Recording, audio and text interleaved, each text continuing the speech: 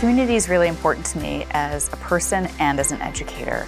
And right from the get-go, I felt that AISG was an amazing community to be a part of. The people are the heartbeat of the school, and you can feel that energy wherever you go. It's made of some incredible people from the parents who volunteer their time to the faculty that is here late at night working with kids or preparing for them, to our kids who are come into my office weekly and offer suggestions and ideas and are testing their own limits in order to grow their sense of identity and leadership.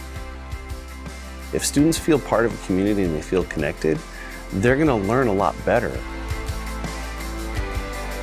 Decisions are made based on our students and what their needs are, based on our teachers and what our needs are, based on what the local community needs. As a counselor, I get a chance to not just educate our students academically, but the whole child to help them to do well in our world and socially. We get to actually put our values into action, and that is what drives us. All of the money and energy and time goes back into making kids' programs better. With the tech coaches and the supplies that we have, if we want to try something new, then it's, it's, it's encouraged. They care about my opinion. They care about my well-being. They care about my growth as a teacher. It makes me feel like I have a voice and then I can help make a difference with AISG. And that's why I'm here.